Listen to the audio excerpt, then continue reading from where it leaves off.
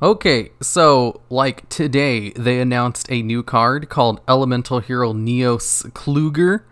Um it's basically like what Neos Wise Man should have been. Um, for those of you who probably don't know this about me, I am a huge proponent of Neos Wise Man. I really love this card because of how terrible it is, uh, and because of how decent its effect is for being like so bad. Um, and this card allows you to special summon Neos Wise Man from your hand or deck, ignoring its summoning conditions on a floating effect, uh, which is great. It also requires an Elemental Hero plus Yubel as its materials, which means it can be brought out with Neos Fusion, which is so good, like ridiculously good. Uh, because this card also has an effect where if it attacks something, you can inflict damage to your opponent equal to that monster's attack. Um, so I'm going to try out this new thing where I talk about the deck while the replays are going. Uh, so let's get into it. Okay, so first off, we have a duel against a Mathmech deck.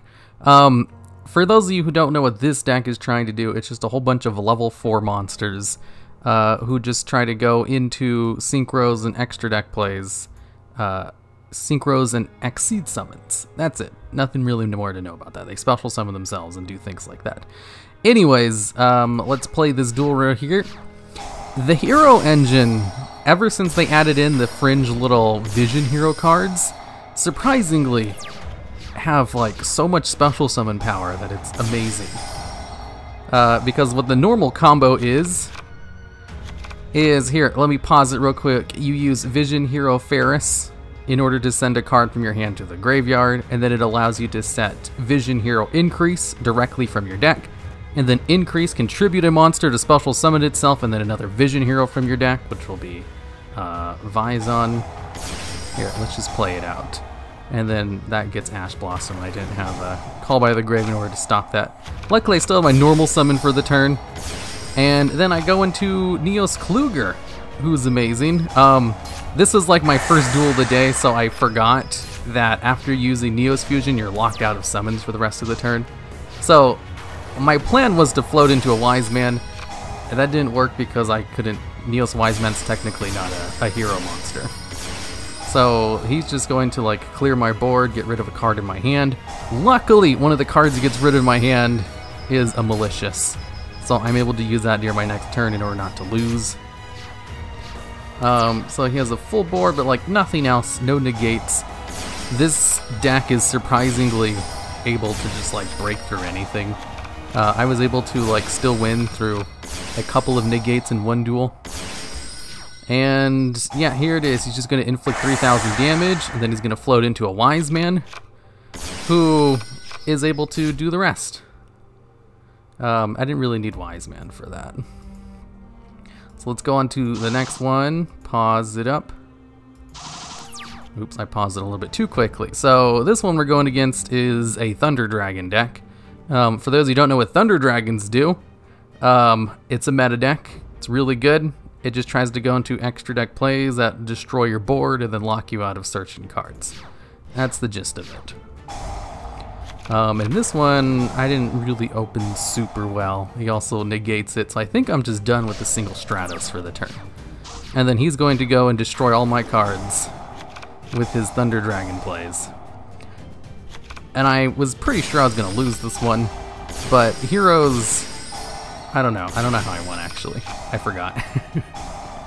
um, oh, super polymerization. I forgot I had that. So yeah, I just super polyed his uh, Titan, and then he brought another one. Now he has nothing. No cards in his hand. This is pretty easy to come back from, especially with, you know, drawn into a Miracle Fusion. So this card right here, Elemental Hero Sunriser, it's a new hero monster that lets you search out a Miracle Fusion when it's brought out. Um, I was only playing one copy of Miracle Fusion in this deck, so after this duel I went in and added a second copy. I was like, wow, that's useless if I use Miracle Fusion to bring out that guy. So, you know, I'm about to lose, I have nothing, and then boom, Neos Fusion. this literally wins me the game, going into a Kluger, who's going to allow me to bring out Neos Wise Man on the next turn when it gets destroyed. I also have one protection thanks to Neos Fusion, so he's going to use one charge of his Titan to try to destroy it, but he gets protected. and then he's going to attack into it and take damage, and then Neos Wise Man comes out. Now, the cool thing about Neos Wise Man is its effect is if it battles, you inflict damage to your opponent equal to their attack, and then you gain life points equal to their defense. And this happens whether or not this card is on the field or not. So if it gets destroyed by battle, the effect still goes off. Uh, it can't be destroyed by card effects either, you know, which is pretty nice. So it can be destroyed by battle. Titan has 3,200 attack, uh, so it's just gonna crash into it. I was I had other combos I could have done, but I was like, you know, I don't need to. I have Wise Man. I'm basically gonna win 32 damage. Yeah, easy peasy. it's so funny that Wise Man was literally a win condition right here, and it's so great that Neos Fusion can bring it out. Uh, I love it so much. This is my new favorite. Okay, so now here we're going against a uh, Geist player with Nibiru. You know, one of the unfortunate things, you know, with the Vision Heroes giving heroes actual staying power is uh, I'm very vulnerable to Nibiru, which is definitely gonna, you know, pop his head out. And I'm also running Lone Fire Blossom. Lone Fire Blossom is in here so that I can bring out Scorpio uh, and use his effect in order to bring out Cobra so that I could search out Neos Fusion um, or Super Polymerization, or alternatively, go into this Link monster right here. A brand new one that also got like announced recently that literally allows me to use Neos Fusion as its effect. it's so good. I can't believe how much synergy it has. So I was running Lone Fire just to get that out. Lone Fire basically got uh, Ash Blossomed every time I used it, though. I don't think it ever resolved once. Um, didn't really matter too much. So, you know, there goes Ash Blossom, getting rid of it. And then I use uh, Faris in order to do some Vision Hero plays, which is going to give me a whole bunch of advantage. It's crazy. I am still super surprised Malicious went unlimited. like I was literally there was two top 10s that were in the process of making and both of them had malicious in it and in both of them I talked about how, you know, the semi-limited position was basically made for malicious. Um, and it's like it's kind of overpowered when it's at 3, but 2, you know, it's fine. And then they unlimited it like for no reason and that's it's so good. Half the plays I'm able to do is because there's three copies of Malicious. It's just so much advantage. Yeah, and then I get beard. Um, whatever. I, I don't think I really recover from it this play, but luckily my opponent just draws nothing but negates and nothing else. You know, none of their Altergeist good cards, just one that can only be useful if there's something else. Yeah, there goes another Lone Fire, this time getting Solemn Striked and then I bring out Lone Fire again, and then I go into this guy to try to use Neos Fusion from my deck, but it doesn't work because it gets Solemn Striked. And then I use Malicious just because I need some protection on the board. And because this guy only has 800 to attack, so he can't actually beat over Malicious. He'd have to attack it with, you know, Nibiru. And then I finally get out Kluger. After all this time. now if he destroys it, you know, uh, I get, whatchamacallit, that one card. Oh, this was a mistake right here. I, uh, I, I wasn't too familiar with increase, so I accidentally attributed my Kluger, which is really dumb. Uh, and I thought I was going to lose at this point, especially since I drew a Call by the Grave and he still has a big old Nibiru on the board. Um, but, you know, he didn't summon any other Altergeist monsters, so I just, like, stuck at it. I was like, hey, maybe I can come back. And it's like, oh, cool. A Stratos. Um, I can do something with that. So I go into Sunriser to search out a Miracle Fusion, and I use Increase basically for a whole bunch of plays, and in order to get Sunriser off the field, so I could have a free extra deck space. And then I get into Beard again. uh, and then I just go into the Kluger again. And, you know, they both have the same exact attack, except his effect will still go off. Uh, so, you know, 3,000 attack. So, um, that was probably the most negates I played through, and I still won, but that's mainly just because my opponent never drew anything good. Um, so this one right here, oh look, another Lone Fire Blossom and another uh, Ash Blossom in their opening hand. So that's not to happen. So Lone Fire comes out, he gets Ash Blossomed. No surprise there. And then I have Faris and also a Malicious in my hand. So perfect, you know, plan B strategy. So Increase is to give me all the goddamn cards on the field like crazy. Uh, I'm, I'm just loving the hero engine right now. It's so good. Cross Guy to bring back Malicious and then Sunrise to search out a Miracle Fusion, and then finally, Neos Fusion's always the last thing I do for the turn because it locks me out of summons for the rest of the turn. Um, so, you know, I just ended it off on Kluger. My opponent didn't have anything, so I was going to win no matter what because I drew really well, and then they just drew a whole bunch of stuff, you know, with a going first deck as well. Uh, and then, you know, I also just Stratos their entire back row just for safety, and it turns out there was nothing to worry about. And then um, I think there's one more. Yeah, they just quit out. Uh, yeah, there's one more. This is last one. Uh, hey, look, another lone fire, and they don't have any ash blossoms. I think this is the only time I resolve a, a lone fire, and it's against a dinosaur player. So let's see this opening hand right here. Oh, I don't think I really explained. So here's how dinosaur decks work. For those of you who don't know.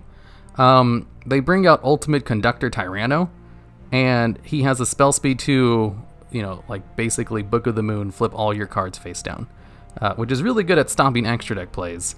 He can also attack all your monsters once each. He can also send them to the graveyard if they're in defense position without destroying them, uh, which screws over a lot of floating effects, including Kluger, so he doesn't bring out Neos Wise Man.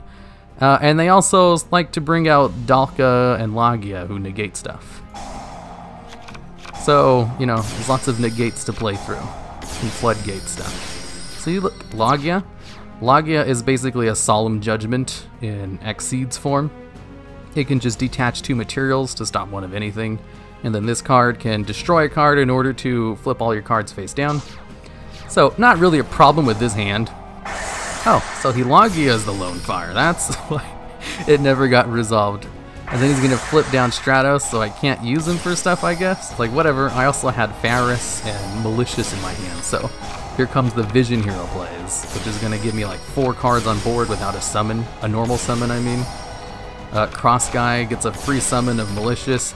In this duel, I also added in Decimator for the first time, because he wasn't in any of my decks previously.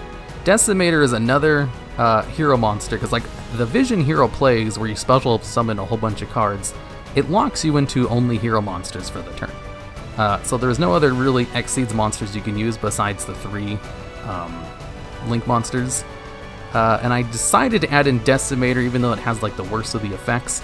Uh, because, you know, the attack boost seemed neat. It also had really good arrows, and I was having so many cards on field in some of my duels that I just didn't use them for anything. So I thought, hey, you know, I get so much advantage with heroes, this might actually be useful. And in this particular case, it allowed me to boost my cards uh, above the attack power value of Ultimate Conductor Tyranno, except it doesn't really matter because Sunriser allows me to destroy cards whenever I declare an attack, you know, once per turn. Uh, so I could have got rid of it anyway, and he already used up all of his negates for the turn. Plus, I could also deal damage to him equal to his attack. This is like overkill right here. No problem. Okay, so let's go on to end of deck stuff. Alright, now it's time for final thoughts on this deck. Um, I love it. It's great. It surprisingly worked out very well on like with very minimal adjustments to it. Um, so let me scroll through all the cards real quick before I go through it. So I assumed I was going to use super polymerization a lot more than I did. Uh, I kind of built this for going first, so I just have like a called by the grave in order to stop hand traps if needed, especially since I never resolved a lone fire blossom in a duel that I won. it, it, I mean, I've resolved it a couple of times in duels that I ended up losing, so I didn't actually really, you know, save or show any of those. Um, uh, this card right here was pretty good in those. I don't think it actually really resolved in any of the duels that I won. Uh, I ended up running two Miracle Fusions because Sunriser was allowing me to search it out, which is another new fusion card, and he's really good in this because he just requires two hero monsters of different attributes. Uh, Stratos, I just ran three copies because I thought, you know, it was limited for so long. Uh, I'm not really used to the new hero engine yet, and a lot of the ones I saw online were like pure evil heroes or pure um, Destiny heroes, and I didn't want to do any of that. I just wanted to go into uh, Kluger for Neos Wise Man, and this version of the deck I basically went back to my old deck. I created a deck a few months ago that was trying to turbo out uh, Absolute Zero, and I took that skeleton of a deck, and I also took us, uh, you know, the engines of some Destiny hero decks that were doing some good plays with Faris and Increase uh, and Vyon. You know, these three Vision heroes, they're so good. Like, my god, they increase the consistency of heroes so much, especially with three Malicious. So, you know, I just basically modified my Absolute Zero spam deck since it was already using Neos Fusion. Um, and it worked out very well. It was able to play through negates. Uh, I got Nibiru twice and I still won. And super polymerization was pretty clutch in some duels that I ended up losing anyway. and most of the time, when I used Scorpio to bring out Cobra anyway, I was just searching out super polymerization because this new Link monster is so good. Uh, I used its effect to basically become Neos Fusion, and then I was able to bring out Kluger in that way. It's it literally just lets you send Neos Fusion to the grave from your deck. Its effect becomes Neos Fusion. You can bring out Kluger, and you know that's it. Uh, it just has 500 attack, just two effect monsters. Um, this card's really good. I'm honestly surprised at how good it is, especially since the Predaplants are already really good. It doesn't even need Predaplants. It's just two effect monsters as materials. Um, so yeah, the deck itself. I never thought I'd say this, but a Neos Wiseman deck, uh, as far as a Neos Wiseman deck goes, this one works out very well. and I think that's hilarious. Uh, and this is kind of like why, uh, you know, I love it when they release support for old cards like this. You know, it's like only in Yu Gi Oh! do they go back and release really good support for crappy cards and then make them actually work.